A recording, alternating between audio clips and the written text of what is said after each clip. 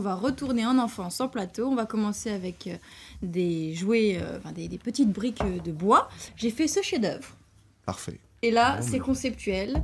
On peut se gratter la tête si ça Ouais. C'est pas mal, hein, Pendant- parce que tout pendant ça en deux l'émission. minutes quand même. Bon, comment est-ce que ça marche? Parce que je sens que je sais pas trop. trop Voilà, le principe, c'est vraiment d'avoir des engrenages, des bûchettes en bois et de- d'en cliquer les, les bûchettes dans, dans Oui, l'engrenage. on clique bien parce que moi au début j'avais pas trop compris, je voulais faire rentrer comme Voilà. ça Mais, et ça mais marchait avec mon pas. Conseil, il y n'y a pas de problème. d'un bon coup sec.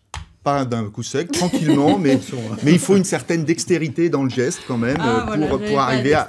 Voilà. Et oui, Et parce par contre, vous vous êtes fait mal hein, à concevoir vos petits jouets. Bah, C'est-à-dire que je ne fais pas que des jouets, je fais aussi des maisons en bois et, et- et voilà. Ah, des fois, grandes euh, maisons, des vraies maisons. Des vraies maisons en bois, oui, oui, oui. oui. On est Oui. une coopérative d'artisans à Saint-Pierre-en-Auge où on fabrique aussi des maisons en bois clés en main. Alors, Voilà. vous fabriquez des maisons en bois et accessoirement, vous êtes mis à fabriquer ces objets qui s'appellent trucs en bois. Trucs en Voilà, bois. Vous êtes allé chercher très loin le nom de- du jeu. Hein. Trucs en On bois. a Et- fait des brainstorming à n'en plus finir. on avait trouvé truc en bois Comment dans on la première truc minute et, et- et au final, euh, c'est resté le, le premier nom. Voilà, toujours truc resté sur sa première Absolument. idée. Alors, pourquoi vous vous êtes mis à faire ça? En plus de Bah, votre au départ, euh, au départ euh, une- j'avais une fille parce que j'ai créé ce jeu-là il y a une douzaine d'années. Donc ma fille était plus petite et, et- et avait vraiment euh, des, le goût des jeux en bois. Donc dans mon atelier, je m'amusais à lui fabriquer des petites choses comme ça, des bûchettes. et puis et puis un matin, en buvant le café avec mes collègues, il s'est avéré que on avait fait un usinage qui ressemblait un petit peu à une pièce comme ça, euh, à, à- à- à cet engrenage ou, ou un carré, je ne sais plus exactement. Et à force de, de- de- de réflexion, on a fini par se dire, mais tiens, ça peut peut-être euh, effectivement faire quelque chose euh, et, et- et servir à un jeu de construction, qui est aujourd'hui euh, truc en bois. Alors, est-ce qu'il y a des modèles à suivre? Il y a- il y a des- Parce que là, on a un peu laissé parler Mmh, notre, imagination. on est- Mais est-ce qu'il y a des artistes. modèles à suivre, euh, des, des schémas pour faire des, des, des Alors, trucs précis? Dans toutes nos boîtes, dans toutes nos boîtes on fournit, on fournit un, un- un feuillet comme celui-ci. J'ai bien compris que Laurent euh, Ah non, moi, j'aime refusait beaucoup. mon œuvre. euh, Ouais, je pense qu'il est jaloux, Malika. Oui. Ouais, je vais essayer Ouais. de faire mieux, tiens. Voilà.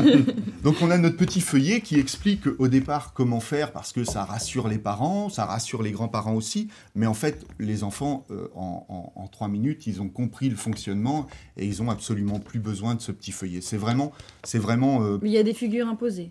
il n'y a pas de figure imposée parce qu'en fait, il n'y a pas de limite de fabrication. Oui, on derrière peut vous, vraiment on dirait tout un faire. robot. Oui, il y a, il y a Oui, plein- alors là, ça c'est notre mascotte, c'est euh, Monsieur Truc en bois. Et Euh, ça, si on arrive à le réaliser, ça prend un certain nombre de temps quand même. Ça prend du temps. Oui, il faut une bonne heure et demie euh, pour, Voilà. pour le faire. Mais euh, voilà, euh, les, les parents ont la paix euh, pendant une heure et demie sans problème. Donc, c'est des constructions éphémères. Malgré tout, on peut les déplacer. Euh, Il y, a toujours, euh, il y a toujours la possibilité. Puis, si on veut, que, si on veut vraiment euh, conserver la construction, bah, il y a une petite pointe de colle à mettre Ah, qui n'est voilà. pas fournie dans les boîtes. Ah oui, ça, par exemple, le train, là, celui-là, il a été collé, je crois. hein Oui, oui, Ouais. oui, parce que Ah en, oui. en fait, on, on se déplace très souvent sur des, des salons, euh, des, des salons euh, Des bio. foires, des choses comme ça. Voilà, exactement. Et pour éviter d'avoir euh, deux heures de construction à chaque salon, on, on est obligé de coller. Mais toutes nos constructions tiennent euh, à l'origine sans colle. Oui, c'est ça, c'est juste. euh, Là, ça tient sans colle quand même. Que tout alors- ça bouge pas. Alors, là, je ne vais pas vous dire que vous allez le déplacer ou le prendre comme ça, mais, Ouais. mais, mais ça peut. euh, Mais quand euh, ça reste sur une table, ça ne, ça ne bouge pas ou par terre, parce que les enfants aiment bien construire par terre. Et puis nous, on continue à s'amuser avec les trucs en bois de notre invité Thomas Blanchard. Est-ce que vous pensez que les enfants du 21e siècle peuvent jouer avec ces, ces jouets? En tout cas, les adultes, visiblement. Oui, nous, ça nous euh, on intéresse, mais votre voisin, Est-ce que tout les va gamins aujourd'hui qui ont des écrans partout, etc., les, les- est-ce que ça les amuse encore, les bois C'est c'est un vrai défi en fait, c'est un vrai défi pour nous, c'est d'a- d'arriver à les intéresser avec ces jeux qui vont, euh, qui vont euh, pouvoir leur, leur ouvrir euh, toutes les possibilités de, de construction, de construction en 3D euh, et, et- et d'imagination. Alors euh, voilà, les, les professionnels, les professionnels du, du jeu et, et des enfants aiment vraiment notre jeu grâce au- à- à- aux possibilités qu'il offre. Regardez, Pierre, il a failli. euh, c'est c'est bien, Pierre, mais peut-être c'est y a un c'est problème hyper bien d'équilibre. parce que c'est très accessible et en même temps, euh. Ça va finir dans les pois parler, chiches. s'il vous plaît. Ça va finir dans les pois chiches. Ça va finir dans les pois chiches. Non, mais c'est, il y a, y a, euh, je pense qu'en termes de, enfin, ça apprend euh, bah, le- le- le- la géométrie dans l'espace et puis le, travail sur l'équilibre et les, les forces. Je trouve ça vachement bien. parce que les écrans-. Ce qui est clairement un problème chez moi apparemment. Parlons un peu technique, euh, Thomas. Ça, c'est donc c'est fait en quel bois et comment vous le faites euh, à l'usine? Alors, voilà, c'est un bois de la région, c'est du hêtre. Alors, le hêtre, ça a une, vraiment une, deux particularités, c'est que c'est un bois extrêmement dur, peu durable. Donc, on va le, Oui. on va pas l'utiliser en menuiserie euh, pour, euh, pour faire des fenêtres, par exemple, parce que ça ne va pas résister aux attaques euh, des Ah, on champignons. peut pas tout s'en servir pour vos maisons alors. Et non, Non. on ne le met pas dans nos maisons. On va faire de la menuiserie intérieure, on va faire des escaliers et des jouets en bois, et notamment trucs en bois. Donc ça, va, ça vient de, c'est du bois qui vient de Mayenne, euh, de forêts euh, gérées. Euh, donc euh, il y a toujours euh, une gestion. C'est des bois qui, sont, euh, qui ont- le label PEFC, hein. donc c'est, c'est une, une gestion des forêts. Voilà. D'accord. Et c'est c'est extrêmement dur, donc ça veut dire que ça va résister dans le temps quand même. Ah oui, alors dans le temps, à l'intérieur des maisons, il n'y a aucun problème. Mécaniquement, c'est un bois extrêmement résistant. De l'ordre, c'est la même chose que du chêne sur le plan mécanique. Et c'est fait Voilà. sur les mêmes machines dans, dans votre atelier que sur euh, les, les machines qui font les maisons? Voilà, au départ, euh, c'est- vraiment ce qui nous a, ce qui m'a moi motivé à, con- à continuer et à développer ce jeu, c'est-à-dire que on avait les mêmes machines, on avait les machines à- dans notre atelier.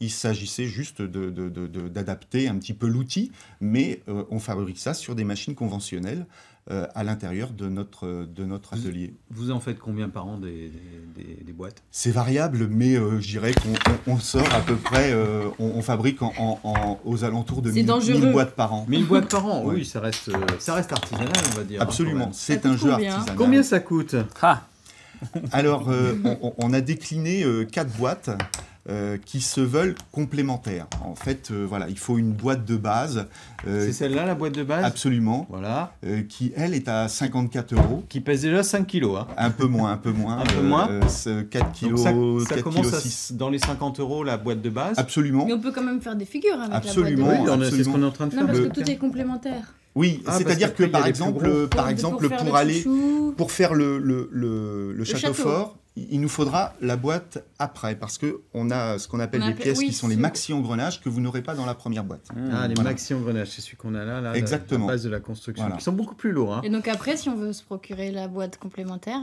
Alors, la boîte complémentaire va être à 59 euros, je crois, ou 54 euros. 54 euros. ah oui. Et, euh, et, et- et- et ensuite, on a une boîte euh, qui, est, euh, qui va regrouper l'ensemble. La collector qui est là. Absolument, qu'on a Ah, appelé notre immense. boîte plus plus, qui permettra de faire notre mascotte, Monsieur Truc en bois. Il y a Il largement. de la place quand même. pour Exactement, avoir mais il y a suffisamment de pièces Il pour, pour, pour, pour Il faire faut des ce- bras parce qu'elle pèse son poids aussi. Aussi, elle fait 21 kilos. Ah oui, elle, Elle, coûte est combien? très adaptée, elle coûte 189 euros.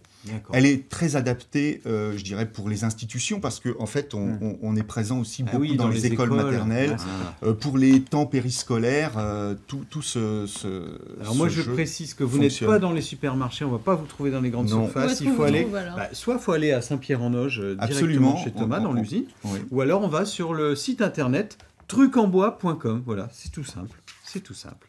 Trucenbois.fr, je crois. Point .fr Voilà, ah, carrément. trucenbois.fr. C'est la France, Laurent. Bah oui, oui, c'est institutionnel. Voilà.